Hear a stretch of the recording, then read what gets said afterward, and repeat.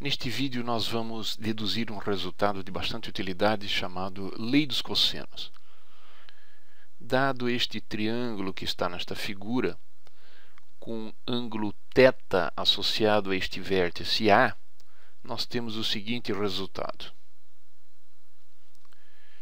A ao quadrado, ou seja, o tamanho do lado oposto a este ângulo, é igual a b ao quadrado que é este lado, mais c ao quadrado, que é o quadrado deste lado, menos duas vezes AB vezes o cosseno do ângulo θ.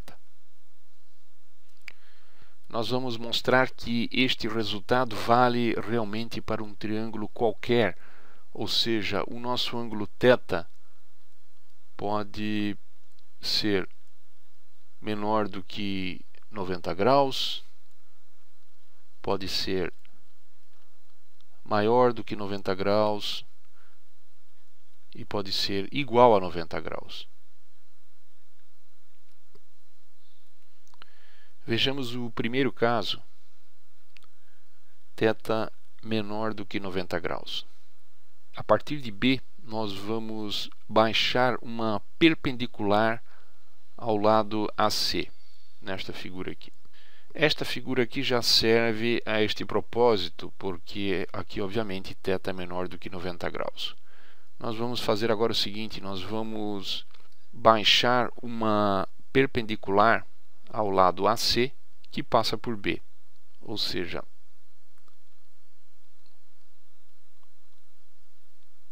nós vamos definir um ponto aqui H, que nós costumamos chamar de pé da altura relativa ao lado AC. E vamos supor que h pequeno é o valor desta altura. Então nós temos aqui um triângulo retângulo e, portanto, nós podemos escrever a ao quadrado é igual a HC, o segmento HC ao quadrado, mais a altura h ao quadrado.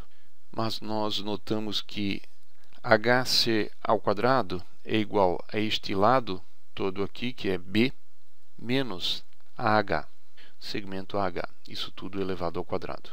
Mas nós notamos aqui deste triângulo que o segmento AH é simplesmente C cosseno de θ. Então aqui nós podemos escrever B menos C vezes cosseno de θ. Por outro lado, H pode ser expresso como C seno de θ.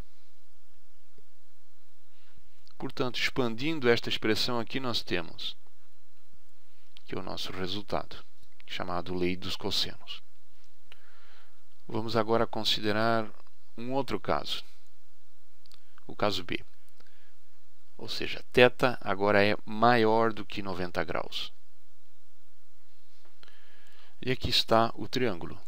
O que nós vamos fazer agora é prolongar o segmento AC nesta direção e baixar uma perpendicular a este segmento a partir de B. E novamente vamos chamar esta altura de H, H pequeno. E aqui nós temos o ponto H grande. Então, certamente, o segmento AH tem que ser igual a C vezes o cosseno deste ângulo aqui. Mas este ângulo que está aqui é simplesmente 180 graus menos θ. Então eu tenho aqui C cosseno de 180 graus menos θ. Mas cosseno de 180 menos um ângulo é menos o cosseno deste ângulo. Então isso eu posso escrever como menos C cosseno de θ. Qual é a outra relação que envolve θ? É aquela envolvendo o lado h. Então, h é c seno deste ângulo, seno de 180 menos θ. Mas seno de 180 menos θ é igual ao seno do próprio ângulo. Portanto, isso aqui é simplesmente c seno de θ. Vamos agora aplicar o teorema de Pitágoras ao triângulo retângulo BHC, ou seja, A ao quadrado tem que ser igual a H ao quadrado mais todo este lado que está aqui, que é o segmento HA mais B ao quadrado.